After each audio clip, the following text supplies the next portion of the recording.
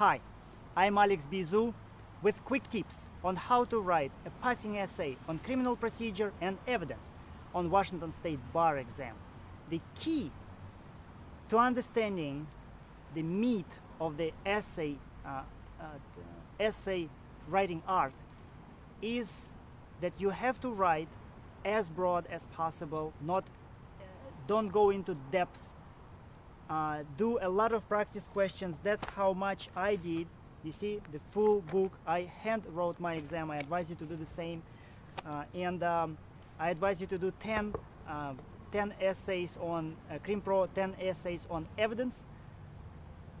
And also, remember these basic highlights that you will most likely address on your essay.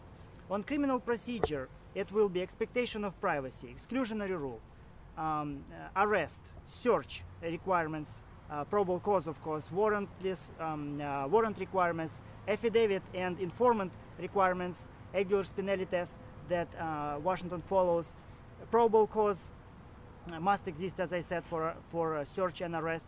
Reasonable suspicion must exist for a stop and frisk situation for Terry stop. Warrantless searches are only allowed when the uh, when there is exception, an exception, exigent circumstance, you know.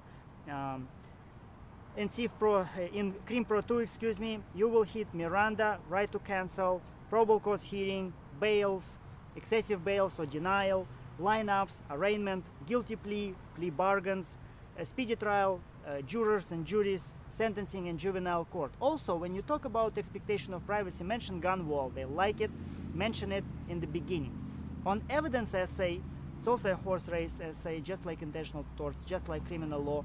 You will hit relevance, character evidence, privileges, experts, and normally they will give you a document, let's say medical record. And by medical record, you have a document itself, so you, you need foundation, authentication, uh, you need best evidence rule uh, to be met, and it will be a hearsay out of court statement, and it will be a privileged information. That's how they test you. Uh, by one um, document, five uh, issues. You address them, you move on.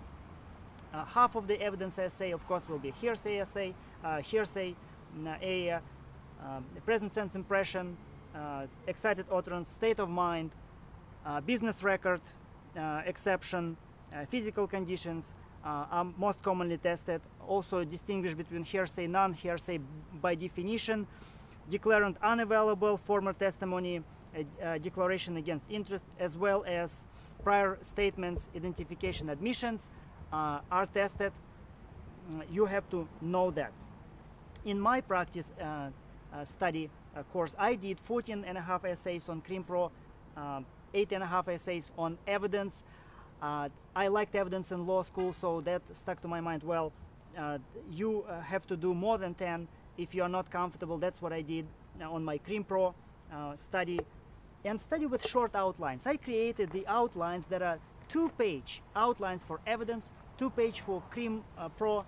It's one hour of audio lecture for evidence, the total course. You know, I saw some courses five hours, six hours on, on evidence, and these are bright guys, nice professors, but this is too much.